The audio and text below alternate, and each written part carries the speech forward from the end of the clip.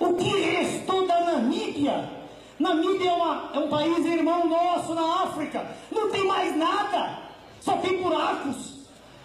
Como eles querem que aconteça com o nosso Brasil. Só buracos, não mais nada.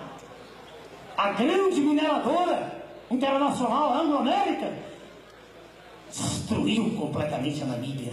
É fome, miséria e desemprego que lá existem. Próximo.